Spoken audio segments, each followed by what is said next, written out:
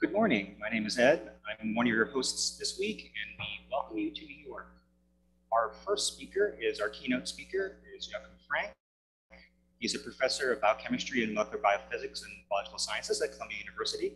He's also a distinguished professor at SUNY.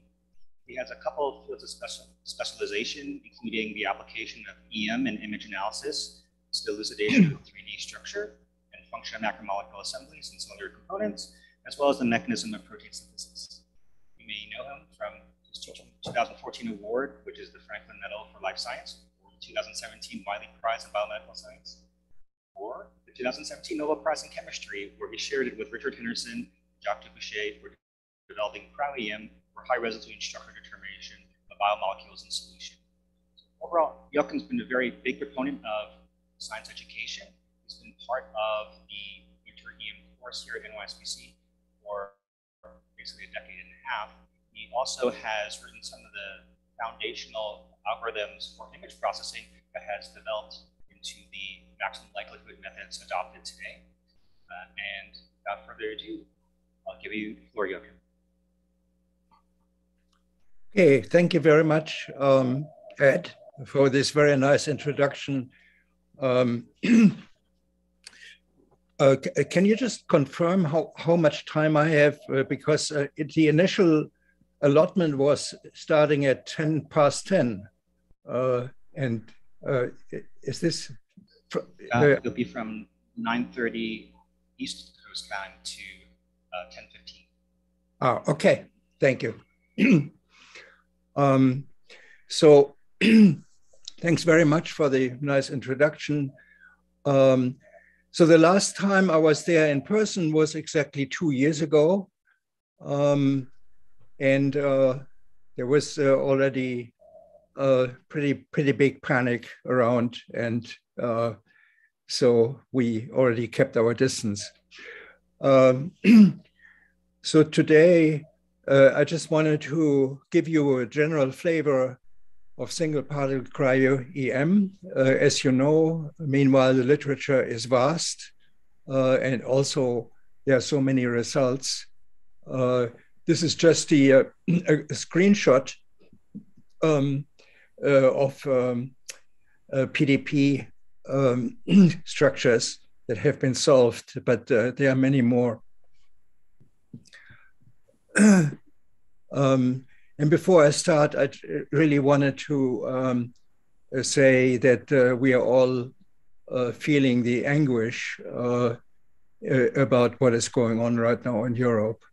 And uh, right uh, a couple of blocks from me, at the Upper West Side, there's this, this um, statue of Eleanor Roosevelt, and uh, somebody has placed an, a bouquet uh, on her arms.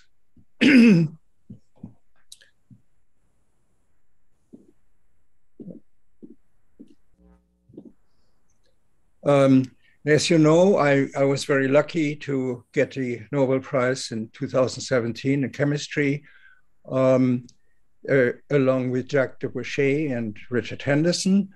And so uh, I just wanted to um, draw your attention for the particular citation for developing cryo-electron microscopy for the high resolution structure determination of biomolecules in solution. Uh, well, the important thing here is to uh, see that this is in solution. Um, and uh, what we really want to uh, have is um, a, a, lot of information directly in the cell um, and um, we want to know how molecules interact in the cell to essentially constitute life. Um, and that is unfortunately very difficult because uh, everything is packed in a packed environment. So instead, we are looking at molecules in solution. And what, what this arrow means is that we are practicing reductionism. Um, we don't, uh, we sort of give up uh, seeing it all in context, at least initially, and we just look at systems in which molecules either either um, display their structure or display their dynamic features in uh, interaction with one another. And uh, here's the transmission electron microscope. Uh, the transmission means that the image is formed uh, from electrons that have penetrated the sample. So there are all kinds of electron microscopes, and some of them uh, operate on the basis of backscattering electrons. So these are electrons that uh, go in the opposite direction after they go onto the specimen. Uh, so, so the transmission means images formed from electrons have penetrated the sample. Uh, just a quick look here. There's a high voltage source. There's an electron gun. Um, and then an anode uh, quickly following. Uh, and so the electrons are accelerated uh, to a very high uh, speed, uh, 200 or 300 kilovolts.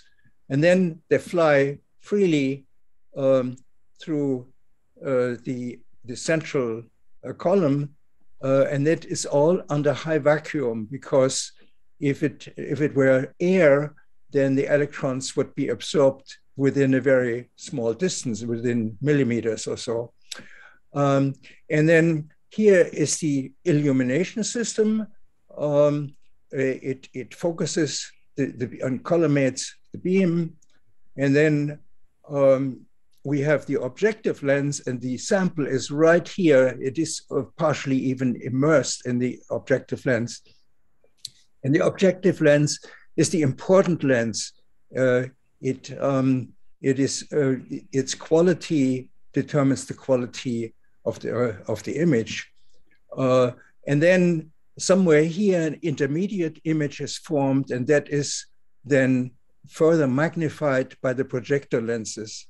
And then in the end, um, we, uh, we have a fluorescent, we used to have a fluorescent screen to directly look at the image. Uh, we used to have plate cameras uh, or film cameras down here. Uh, and uh, if somebody would be sitting on the electron microscope and look uh, at the fluorescent screen. This is all abandoned now. Now we have a recording on digital cameras. Uh, then, you know, by the way, the lenses are not glass lenses, they are magnetic lenses. Um, and um, so, okay, so that's the story. Um, now, there are three classes of scattering outcomes. Um, one of them is that the uh, electron flies simply through, um, and it's it's un, unimpeded by the by the specimen. Uh, so we call this unscattered primary.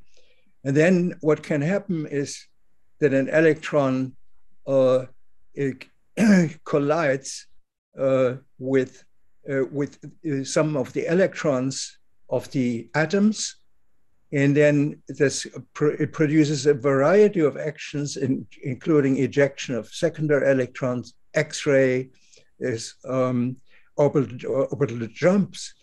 And, uh, but um, in summary, these are all uh, called inelastic scattered uh, primaries. Uh, inelastic scattering means that they have lost energy. And the important thing is they also lost uh, phase coherence.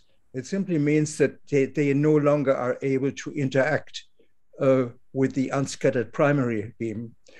So uh, the real interesting um, scattered electrons are the ones that uh, that are elastically scattered, which means that they, there is no electron, uh, uh, no energy loss involved, and they simply are deflected in some way. And these are the source of high resolution image uh, images. Uh, essentially, what, what, what happens is that the forward scattered beam sees the Coulomb potential or the electrostatic potential. So, so all the image formation that we make use of uh, comes from elastically scattered electrons. now, the object projection you can think of as an integral over the Coulomb potential distribution. And I'm, I'm showing you this picture here because, because it, it is not, uh, when you think about projection, very, very often you think of, of, of an, uh, a, a, black and white uh, image like a shadow or so. Well, this here is really a, a true integral through the entire uh, distribution. and uh, how did the 3D reconstruction of biological molecules started?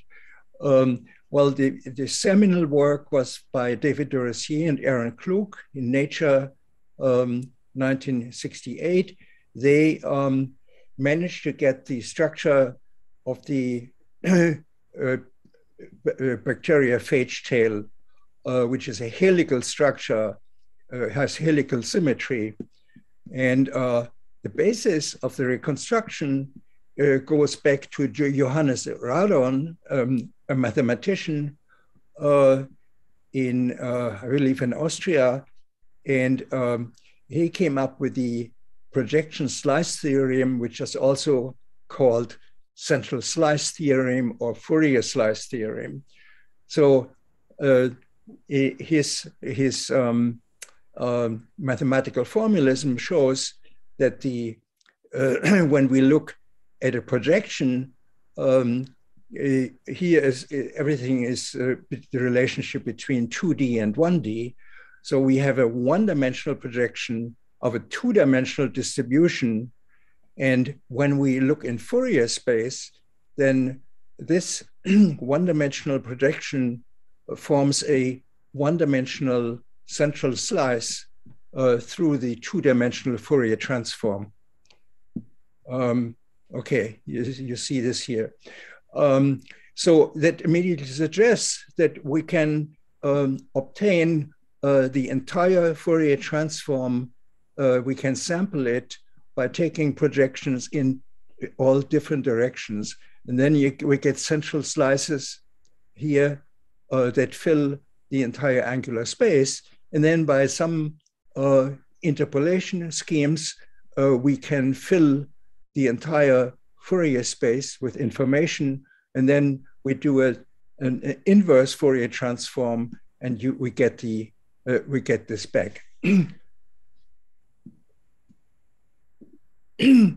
now, um, there are uh, several groups at the at the MRC uh, uh, in Cambridge uh, have have now uh, in in the uh, close to 1970 have in in various ways take, taken advantage of this formalism, and as I told you, DeRosier and Klug.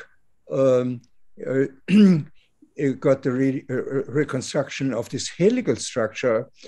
Um, and uh, they took advantage of the fact that for a helical structure, uh, a, a, single projection already gives you all the information. So um, any any kind of tilting is is is not required. Um, another pioneer here is Tony Crowther, and who in 1970 uh, came up with it with the first um, viral structure. And this has icosahedral symmetry, very high symmetry, which again implies that a single projection already gives you information uh, about, about the entire angular space. Um, and then Henderson and Unwin in 1975 uh, came up with a way of reconstructing a, a two-dimensional uh, crystal by tilting it in in different uh, in different directions, and each time uh, forming an, an average. now you see what is common among all these uh, contributions.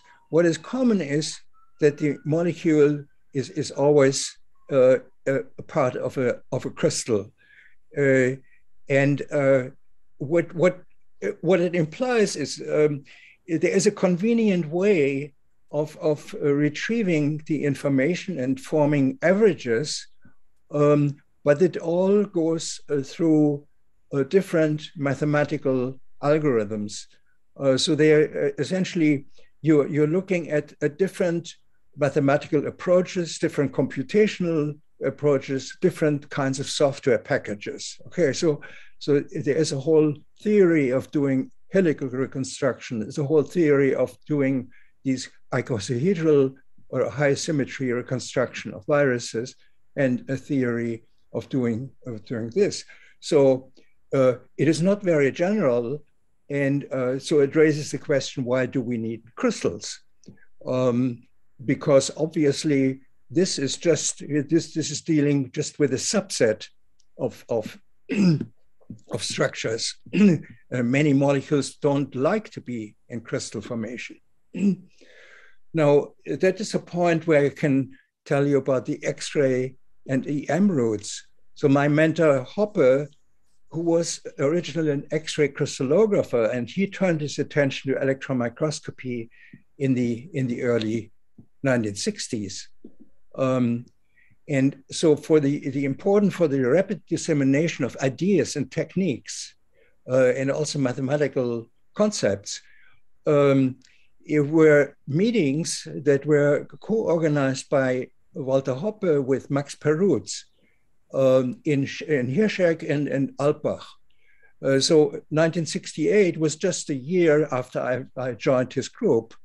And uh, these meetings brought X-ray crystallographers together with the early pioneers of electron crystallography. Uh, crystallography because everybody used um, used the uh, crystal forms. and here's a, a historical site of a 1968 workshop on X-ray crystallography and EM of proteins. Uh, and among the people who were there, uh, yeah, I was there, and then Harold Erickson, Richard Henderson, Ken Holmes, uh, Hugh Huxley, Nigel Unwin, many and others who you now recognize as pioneers in different fields. and uh, well, I, I, have to um, remind you that crystals are not good examples of lifelike environments for molecules. They act as energy traps and make me think of Ice Nine.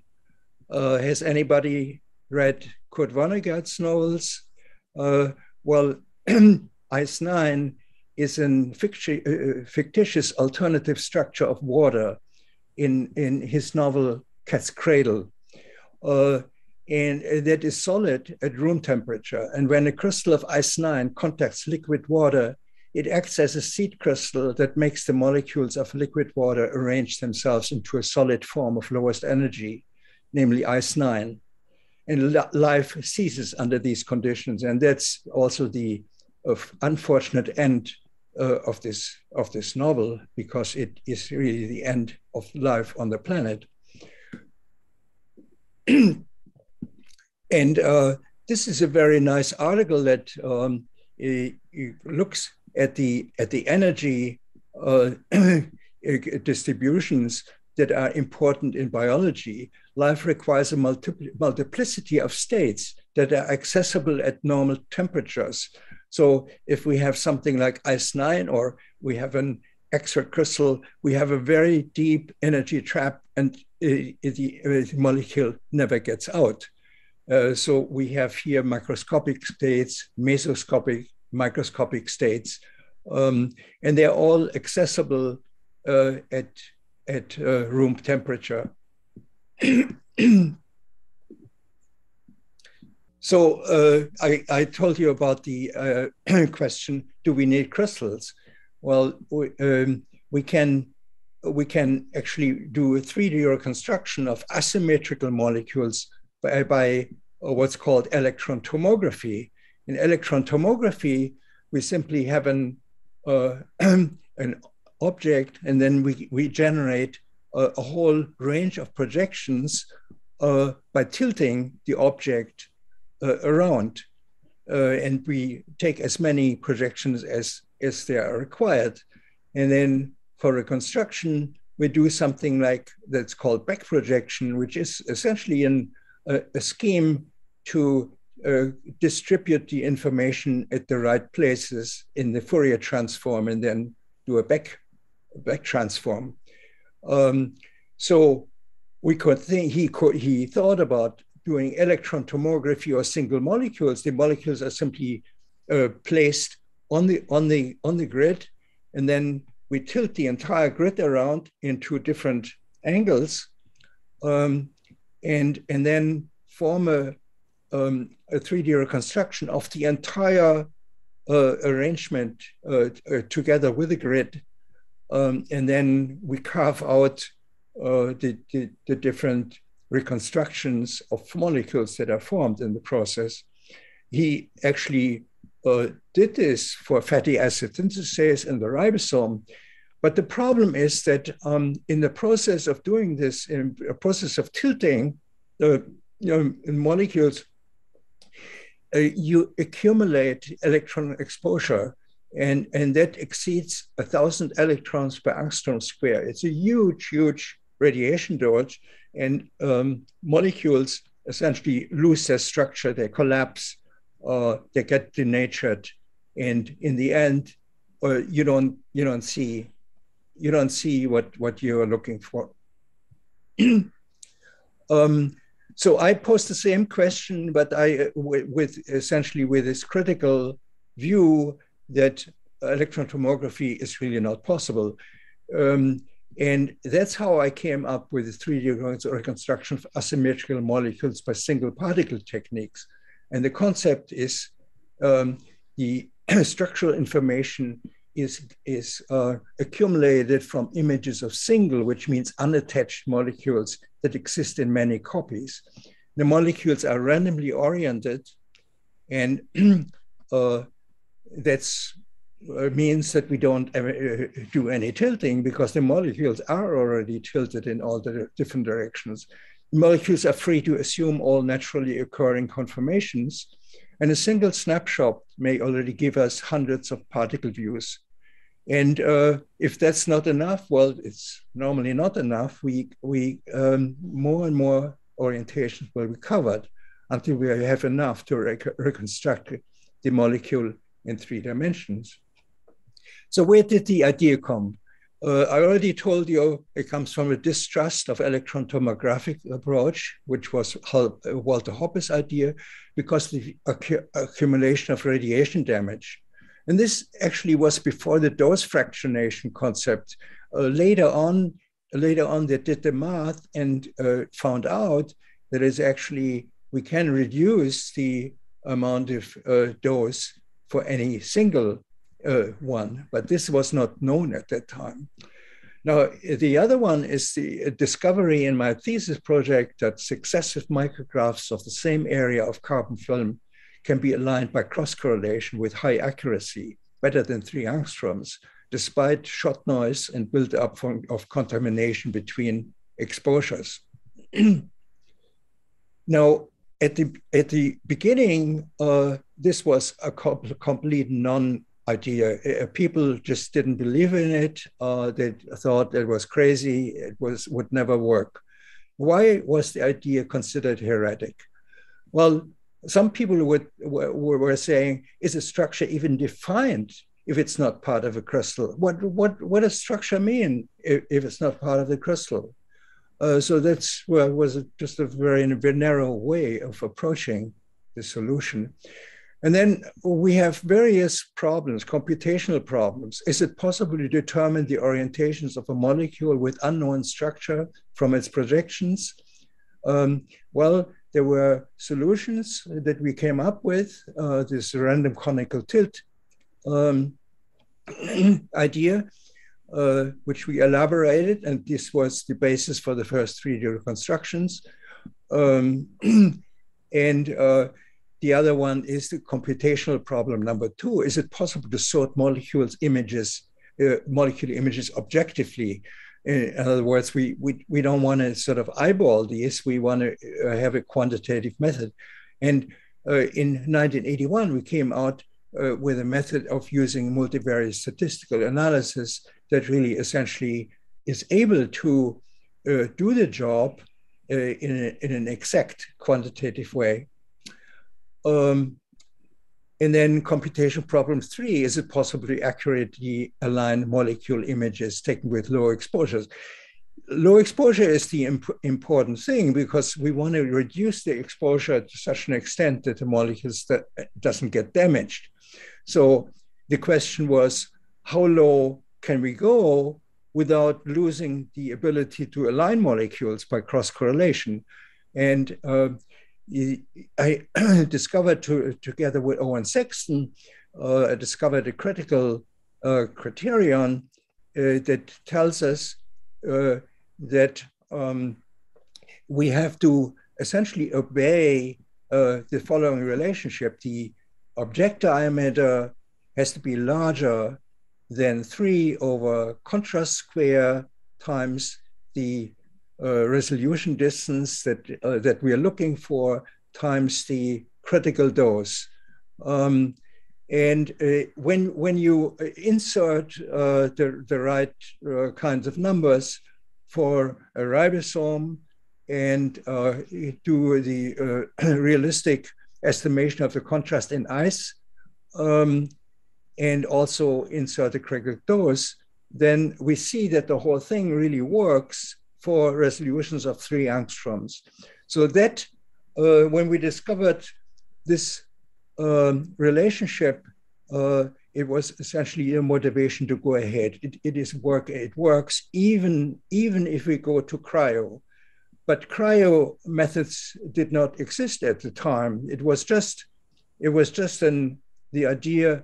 You know, if we ever were able to um, embed the molecules in, in ice, then um, then the technique would work.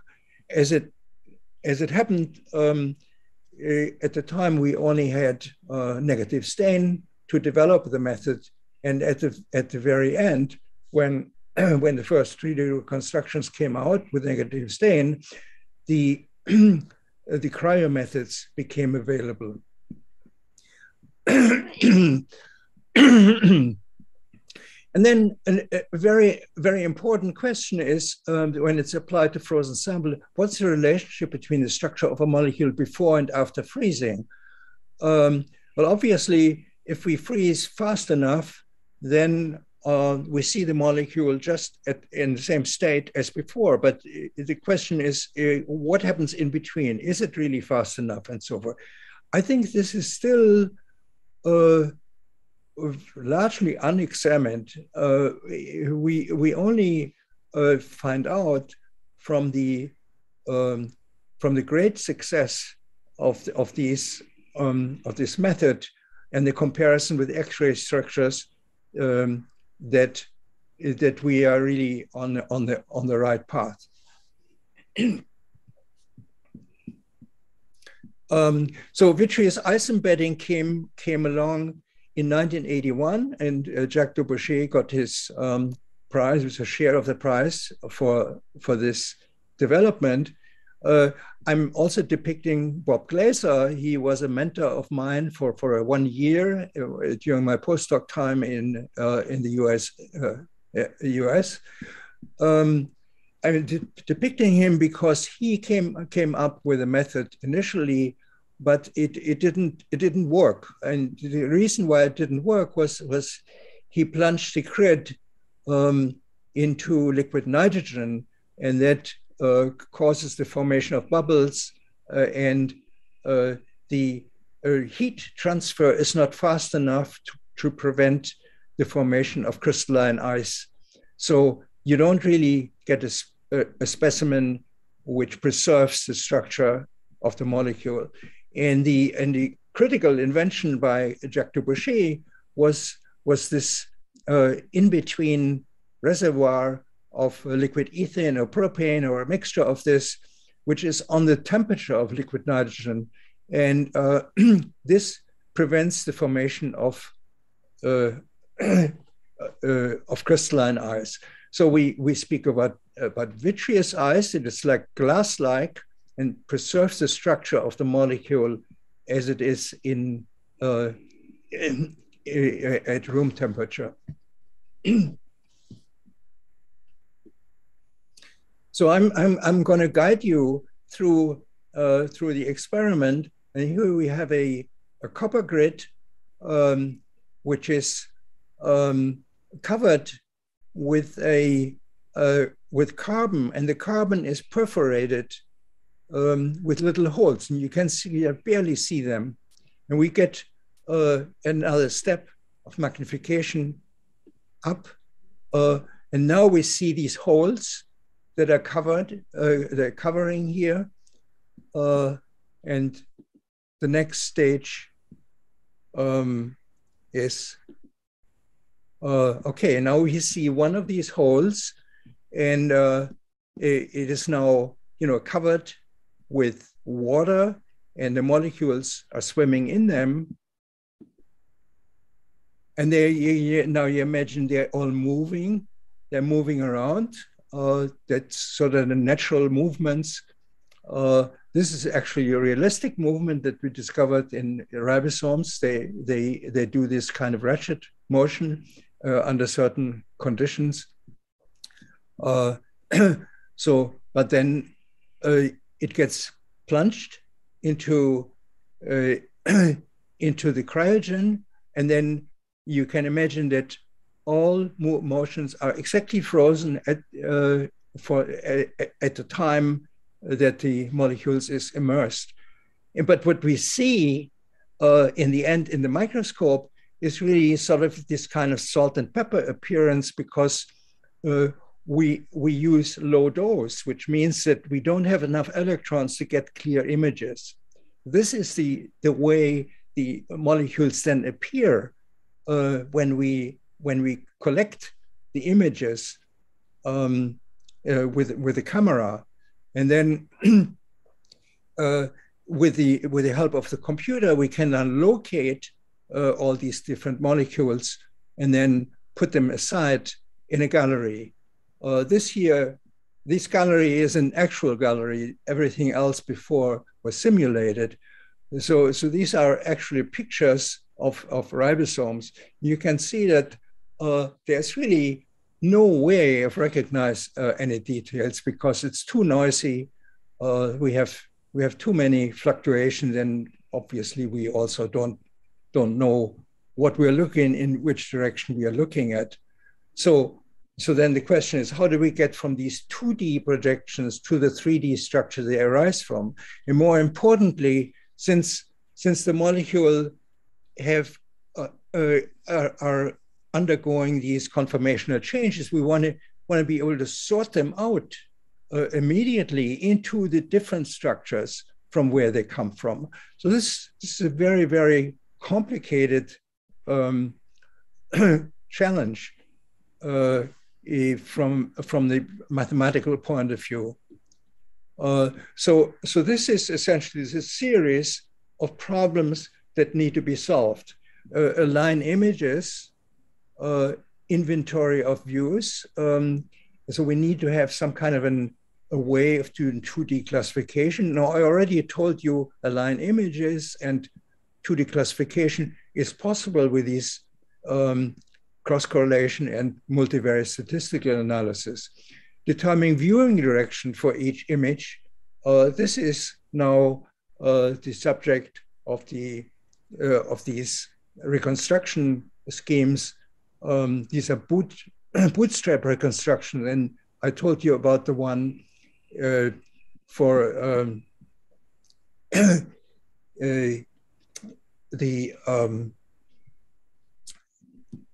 the the 3D uh, uh, the tilt tilt reconstruction that I was telling you about.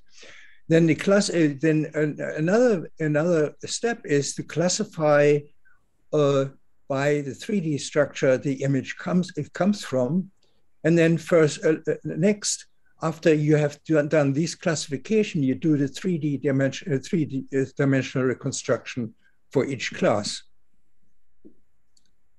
Um, so I, I, just very quickly go through these different things. The alignment of single particle projections achieved by cross correlation.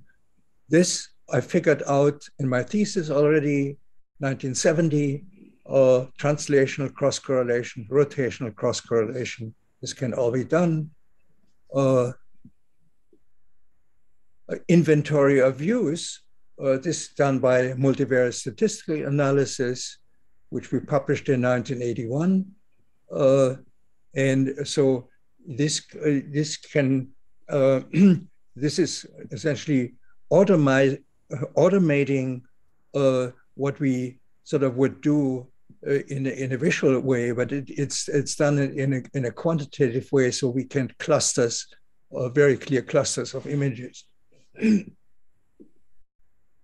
Here's an example of, uh, of some of the studies in which you see uh, how it nicely um, separates all the different particle views. Determine uh, viewing direction, well, there are the two techniques, bootstrap technique. One is the random conical reconstruction, and uh, this is what we came up, up with. And then angular reconstitution, uh, reconstitution is, is another approach, and many of the of the current uh, uh determination of viewing direction uh, use this angular reconstitution approach. uh, so this is this is the random conical reconstruction idea. Uh, it involves uh, taking another view, a tilted view of the same of the same field. So we have a, zero degree view and a tilted view, and when you analyze this uh, uh, relationship, then you see that the uh, the molecules in the tilted uh, picture uh, essentially form a conical uh, a conical view set, and from that conical view set, one can get the at least the preliminary 3D structure.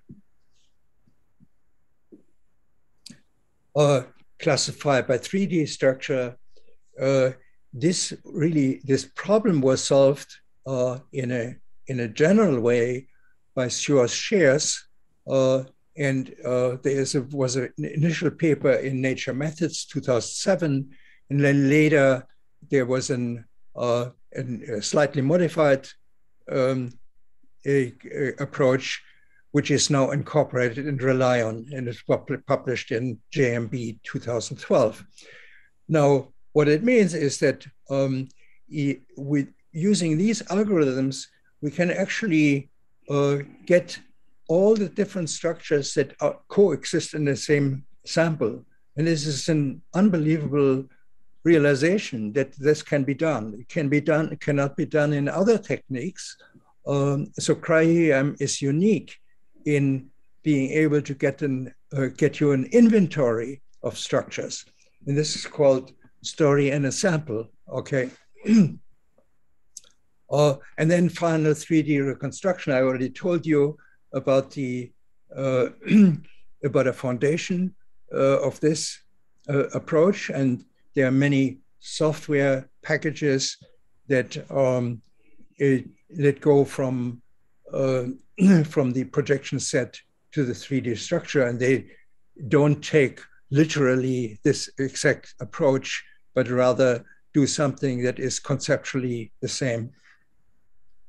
Um, and I told you already about the pioneering work, uh, which uses Fourier-Bessel approach and requires only a single, uh, single projection.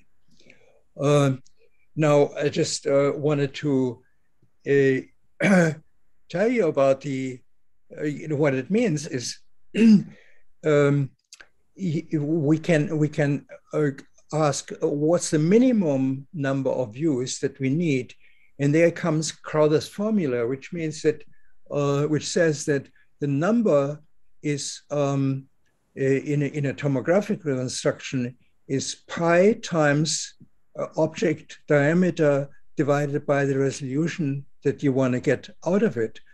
Um, so, uh, and this is for an equi equidistant uh, geometry. It simply um, it looks looks at uh, the necessary information that we get um, from a um, from a single projection and see uh, what's the common information that is between the two? And uh, so we wind up with this kind of geometry. Now, if we apply this in the example of a ribosome, it um, uh, it uh, um, yeah at a resolution of uh, 10 angstroms 10, 10 uh, then we would get um, yeah so the 10, 10 angstrom is the real space quantity. Then we uh, we insert the numbers and get 3 times 250 divided by 10 which means that we in theory 75 equispaced noise-free projections are sufficient to reconstruct the 70S ribosome at 1 over 10 uh, at, at uh, 10 angstrom resolution. Uh, so this is a surprisingly low number. Uh, and um, you know, for comparison, I show you, um, okay, all right, well, this is just in uh, a restatement of this, of this formula. Uh, so uh, in um, we uh, in the reconstruction that we published in 1995, that was around uh, 25 angstrom resolution, and we we needed uh, to to get this 2,500 projection. So we need many more even to get 25 angstrom. And the, so the discrepancy between these two different numbers is really uh, because of the extraordinary amount of noise. The, the, noise is such that the signal to noise ratio is um, 0.1, which means that the uh, noise content is 10 times larger than the signal contact in such an image. Um, I, I, I, just show you an, an example for a story in a sample. Um, and uh, you can see that all these uh, different structures come from the same sample. Uh, it is a study of looking at um, elongation factor G, uh, the way it binds to the ribosome.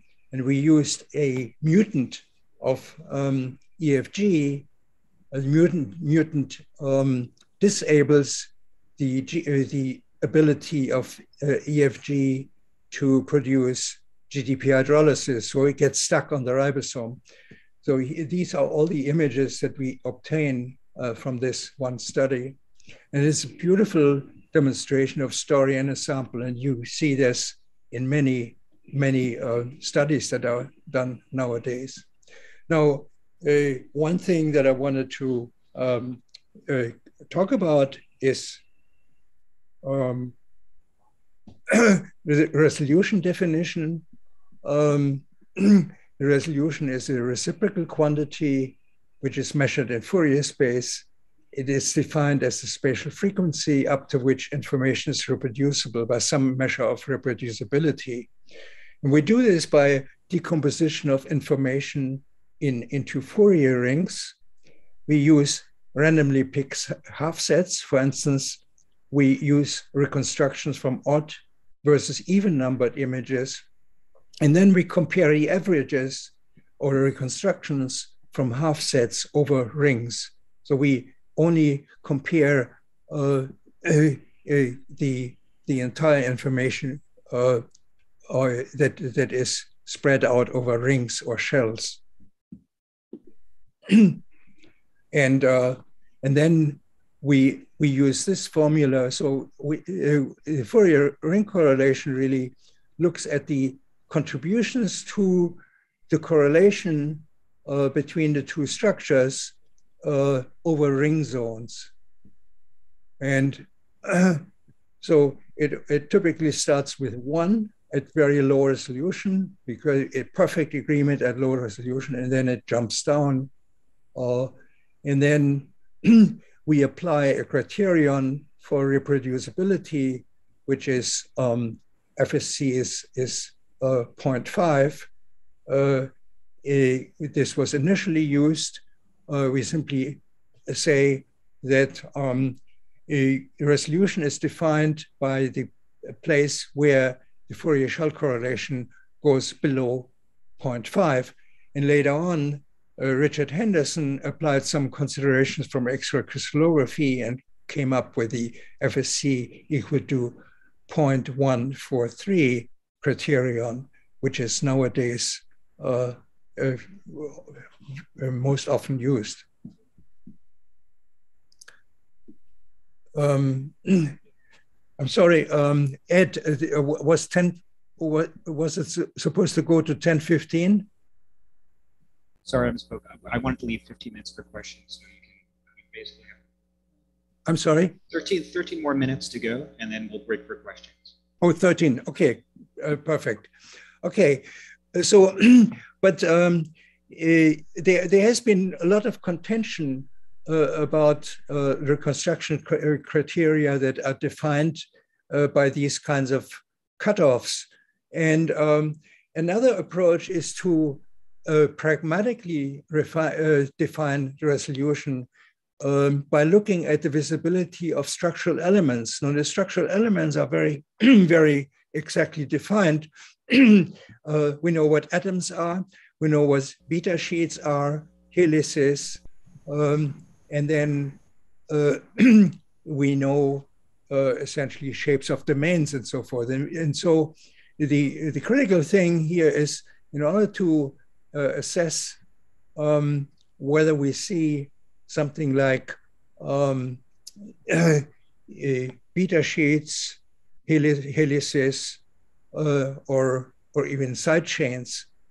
Um, and uh, so with these kinds of practical definitions, one can really talk to each other and and uh, get get a consensus of what what is seen.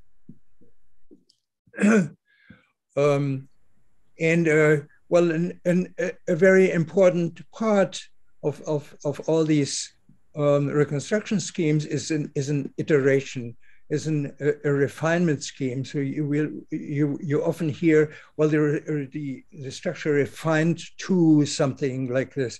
It means that uh, an iterative scheme is used in which uh, predicted uh, projections are, are compared with uh, the experimentally observed ones, and new angles are assigned in each cycle. Uh, and here is an, uh, an, a, an, example uh, for uh, uh, Pol 3 at different resolutions. You can see the sort of the, here resolution was obtained at 3.9 angstrom, which eventually enabled people to do an, uh, an atomic structural modeling.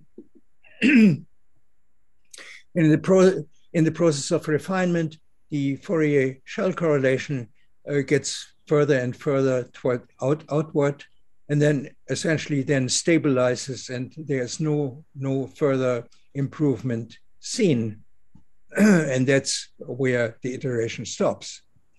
So, you know, essentially, so we have we have an, a workflow from a sample to the grid, freeze, electron microscope, collect data, pick particles, particle alignment and averaging, a 3D map, and a 3D model. So this is nowadays sort of the uh, the normal work scheme. I, I, just want to show you a case study. Uh, got involved in a Trypanosoma cruzi ribosome, along with Mariano Levin, uh, who was at the Chagas Institute in Buenos Aires. the Trypanosoma cruzi is the is an um, an organism that causes Chagas disease and is transmitted by beetles. And and we got the first reconstruction in our by by a collaboration with him in 2005 at 12 angstroms resolution, and it was uh, showed very unusual features, unusual large uh, RNA expansion segments. And then later on, after the introduction of these fantastic cameras, the electron detection cameras, uh, we, we revisited Trypanosoma cruzi, uh, and we got in 2016 uh, a 2.5 angstrom resolution from 160,000 particles. Uh, and this is the Zheng Liu uh, did this in my group. And we, uh, the initial data collection was 700,000 particles. And then through 3D classification, it was whittled down to uh, the 174K particles in the case of the large subunit that led us to 2.5 angstrom resolution. and here's this um, reconstruction, and uh, it's obviously it was a huge, huge uh, discovery to be able to uh, find water molecules, uh, ions, um, and uh, and the explicit structure of the uh, of the base pairing. and here are the atomic models that we published. Um, I just wanted to uh, make you aware of the fact that uh, the important contributions of cryo-EM uh, to the um, to virus structures uh, came came just in time in 2012. Uh, 2012 was the introduction of the of these uh, commercial cameras uh, with the capability of single uh, electron detection, and that this introduction of the camera came just in time to enable us to deal with viruses with pandemics that started here around that time. there's MERS, Zika, Ebola, dengue, and now we're still dealing with SARS-CoV-2. So in each of these, if you look at the literature, uh, cryo-EM has made crucial contributions to the uh, uh, discovery of structures and also of the uh, of the um, uh, of the way molecules interact uh, with a host. So, uh, just in a nutshell, future direction. Well, not everything is higher spatial resolution. Uh, other directions that are very promising are uh, the introduction of time resolution uh, using microfluidics and state resolution. Because if we have very large numbers of molecules, then uh, the chance is that um, that even very rare states are are depicted. And what we uh, can do is is then we can make a, a, a very large data collection uh, in which molecules are depicted in all these different states. And so if we if we now have a, a mapping that tells us the occupancy of the states, then we can uh, reconstruct the energy landscape. And this is the first time that it's possible to do uh, such a mapping and uh, depict the energy landscape of the of a molecule in the uh, in the normal uh, thermal environment.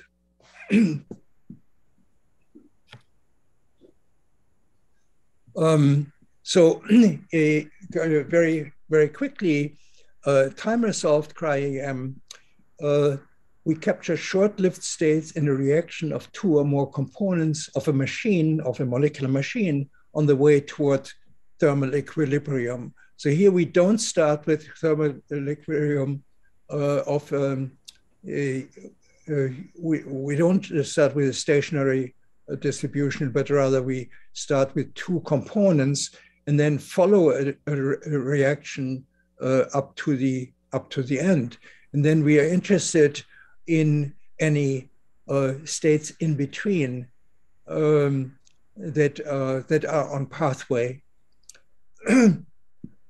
State resolution we collect many in the hundreds of thousands or millions of snapshots of molecules or molecular machines exhibiting conformational changes in the thermal equilibrium.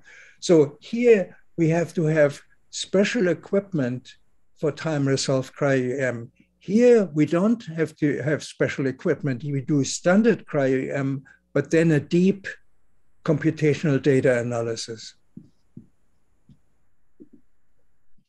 Uh, so going through this here, um, you know, this is the, sort of the concept that I already depicted.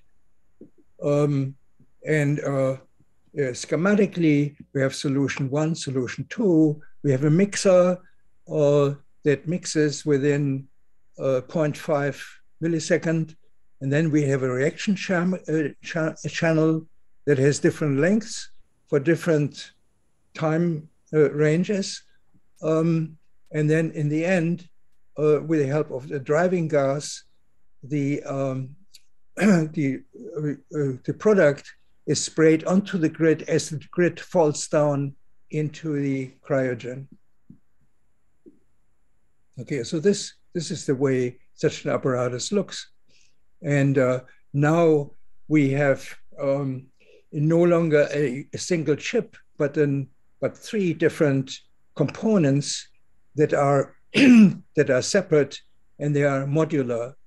So uh, with with a, a and, and it uses not silicon but but a uh, but a plastic PDMS uh, plastic. So we have a a, a micro mixer, a tubing which has different length for different reaction time, and then a micro sprayer. This is all done with, by Xiangsong Feng uh, in my lab and um, Qiao Lin in, uh, in the engineering uh, department. Uh, and here I, I just show you an, uh, a most recent example uh, of, an, of such a short-lived state that we captured for the first time. so it was without any intervention uh, any chemical intervention or use of, of, mutants. So this is the actual uh, and actually trapped state on the way to equilibrium.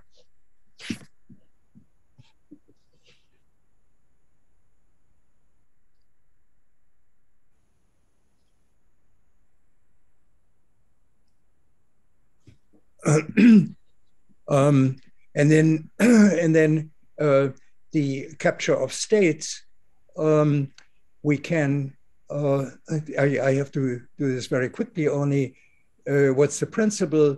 Well, in every single projection direction, you can think of having a, a whole variety of conformations of the molecule, and we simply examine only the ones in one particular direction. And then we do this separately for all the different ones and then reconcile the results. So then we can uh, get a mapping uh, of the of the conformation states, and uh, he has an application to the uh, virus spike protein. Uh, so here the idea is really uh, I can I can I can explain this best by uh, 10,000 horses galloping. I found this image is somewhere in China. Uh, so they're all galloping in, in, a, in a particular direction. And uh, um, you, can, you can now look at this, take a snapshot, and then find out whether you can order the images in the um, uh, in the sequence uh, of the of the galloping uh, posture.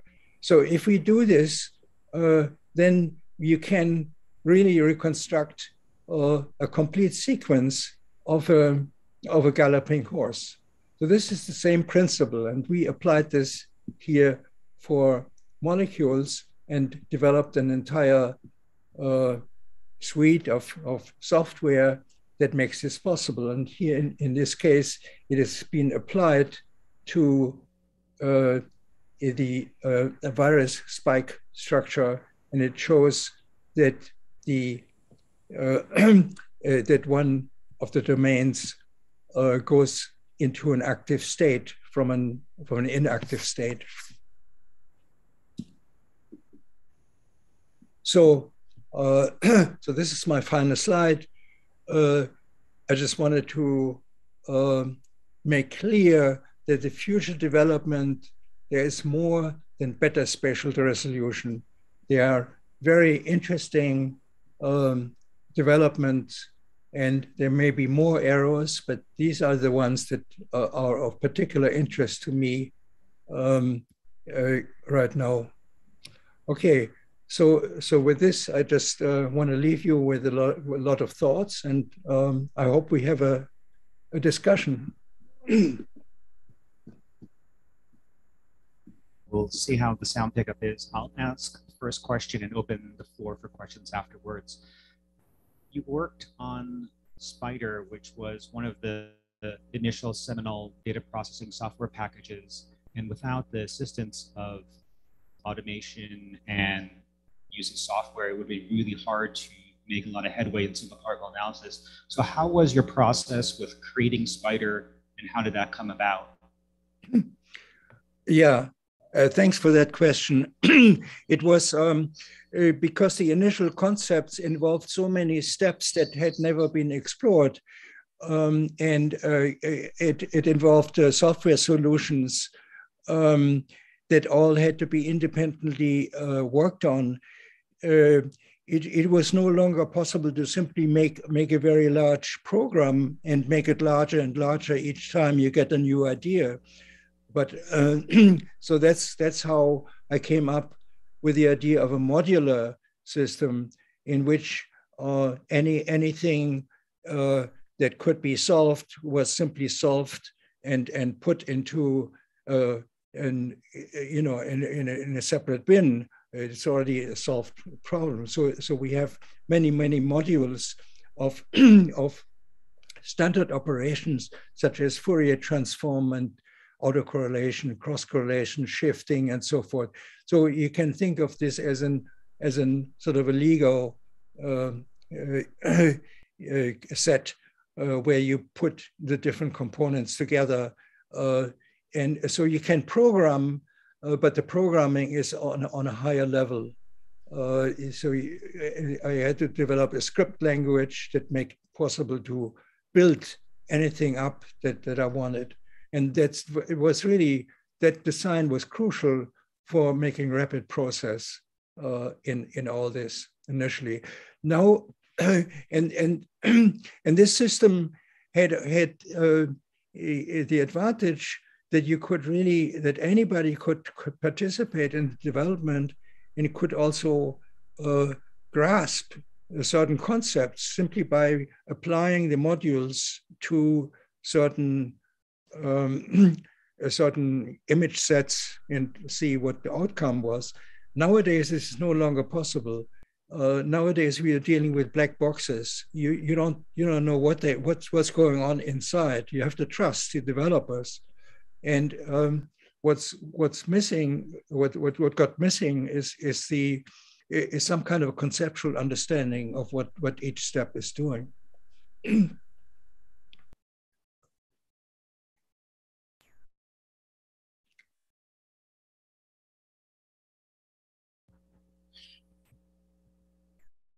Hi, hi Frank. Um, thanks for the, the talk. Um, I have one question. I guess it's a technical question, but one of the slides that you have, you showed an FSC curve, and when it's sort of going down at about 0.25, and then it show a backup um, um, at the 0.35, and then it start going down again. So my question is that why why does it have this sort of lump? Oh, that that can have that can have um, a lot of different um, sources. It, it, could be it could be that um, you have uh, you have certain structural features that are uh, underrepresented. Uh, you can have uh, you can have an um, failure to correctly um, uh, uh, to to correct for the CTF um, and there, there, there, there are so many different uh, uh, causes. What, when it becomes interesting is, of course, when when the curve goes down, you know, to zero and then go, goes up again, and so you have two resolutions that you could quote, and you know, it will really be really be honest to to to quote the the, the lower resolution then because you really have a, a gap in information.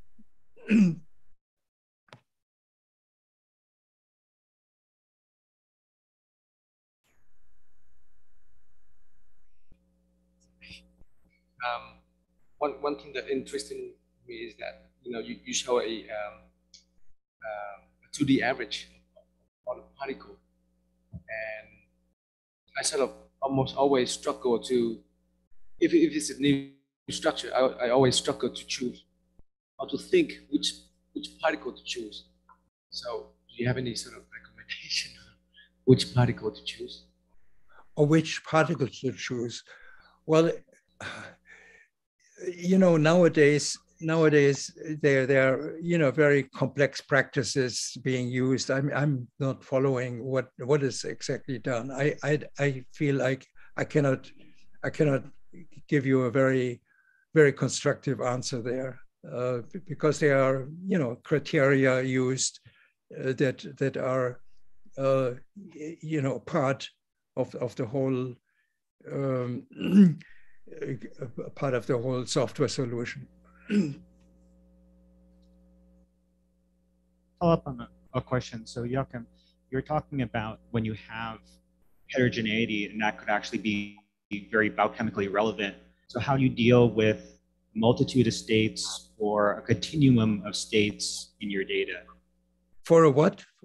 If you have a continuum of states or a lot of different states in your sample, which may be heterogeneity, but actually is biochemically helpful or relevant. Right, but I, you know, all you can do is reconstruct and then and then find out how they're um, related to one another. It's it's really not a question about the practice of cryo-EM, but rather of, of interpretation.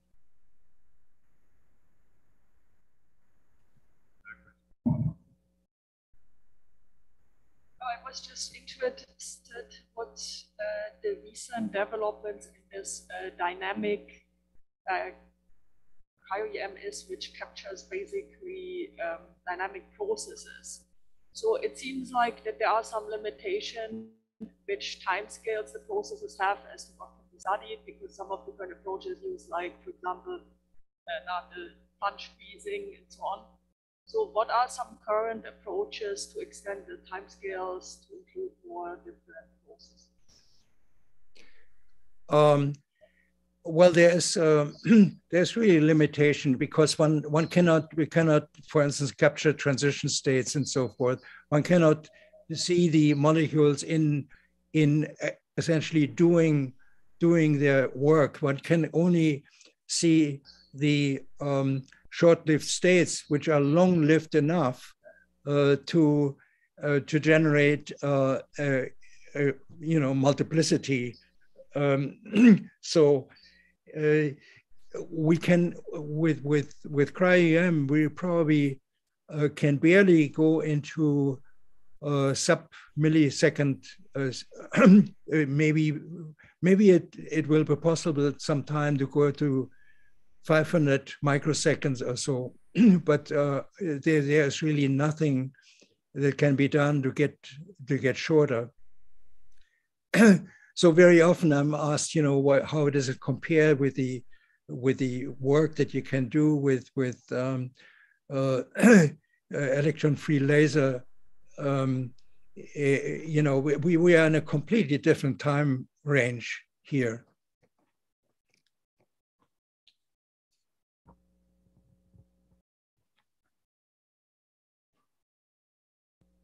Hi. Uh, you showed uh, Crowther's formula earlier, where there was a theor theoretical amount of images that you could use to reach a certain resolution.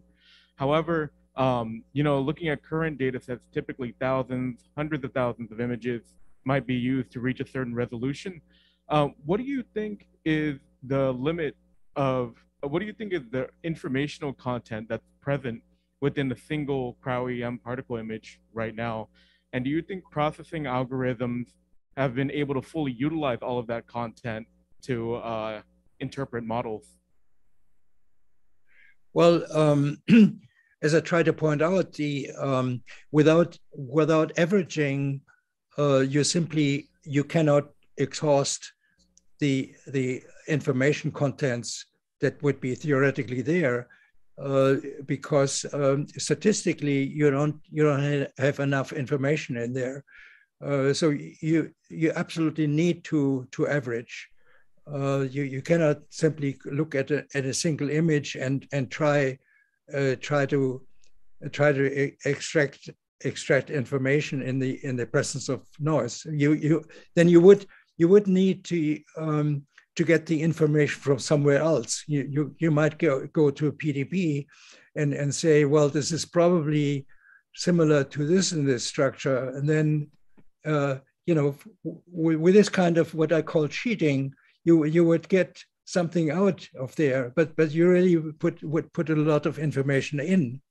And, and I'm a believer in, in doing the, uh, these things completely cleanly and not, not going in with um, uh, with with some existing knowledge uh, to solve a structure. And that's also one of my main criticism of AlphaFold. You know, AlphaFold, you know, uses this immense accumulation of knowledge that comes from somewhere else, and then on the basis of this, it's it's doing a a, a structural prediction. Uh, but uh, but this is really, you know, if you go on like this, then it simply means that the structural universe is restricted to the universe that was already there before. And, and you have a very big gap somewhere else because there is no training set available.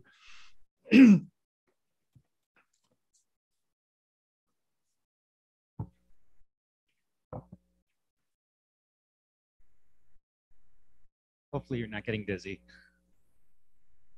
All right, thank you for the talk. Uh, I had a question about the resolution or the signal to noise uh, limit. You were mentioning it's 0.1, 90% of it is noise, 10% is signal. Uh, have we reached that limit? Can we improve the signal to noise ratio by hardware or software means, or is that the limit? Oh, you mean you mean to improve the signal to noise ratio in the collection of data? Or, or what? Uh, because you always hardware or software, yeah. Well, no, no, no. Software is is so software means means that they use averaging. So you know that's already there. But um, when you say hardware, then you mean then you mean somehow uh, get a get a better signal to noise ratio. But that, but that's that's forbidden uh, because of the uh, low dose. Uh, you know, so, the low dose gives you give you a certain amount of shot noise, which just happens to be so large. Uh, most of the uh, noise part of the signal to noise ratio is really coming from shot noise. So there's no way uh, around it. Okay, Joachim, thank you very much for your lecture. the sound pickup is horrible, but you'll be hearing a lot of clapping if you were here. Okay, thank you. Thank you. If there are any pertinent questions, just just um, just send me an email, okay? Right. Good luck with the course.